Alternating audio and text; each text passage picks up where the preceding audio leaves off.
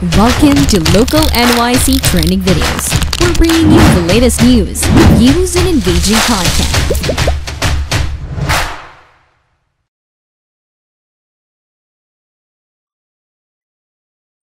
Everything we know so far about Loki Season 2. With Loki being one of the most successful Marvel series ever, it's undeniable how excited fans are for its second season. But will we be seeing it soon? What exactly do we know about Loki Season 2?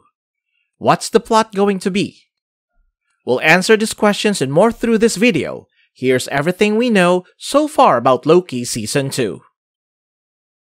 Where do we start off? Loki's first season revolved around the Time Variance Authority, the sacred timeline, and eventually an interaction with He Who Remains, one of the many iterations of Kang the Conqueror. After a couple of complications and several decisions made, we end the series with Loki forced to return to a Time Variance Authority where he's treated as a stranger, erasing most, if not all, of the efforts he made so far in the series. But why is that really the case? Well, Mobius didn't exactly forget. Instead, Loki got sent back to a different timeline, meaning this Mobius hasn't met him yet. This can help answer another important question. Who will be in Loki Season 2? Marvel loves cameos, and there's no better way to insert cameos than through a series that involves a lot of time and space travel. We've seen this happen in Doctor Strange in the Multiverse of Madness, so there's no question whether they'll do the same for the series. As for who will be in it, aside from the main cast of Tom Hiddleston as Loki, Sophia Di Martino as Sylvie, Owen Wilson as Mobius, and a couple of recurring stars, we only know a couple of newly confirmed characters, one of which Victor Timely, another Kang variant still portrayed by Jonathan Majors.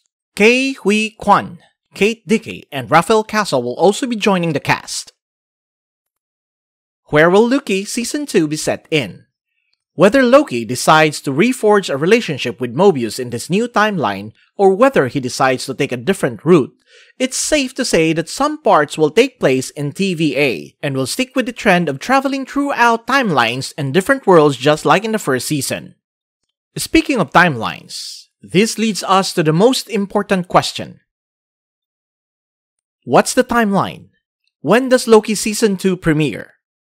As confirmed by the studio, Loki's second season will be a six episode long season.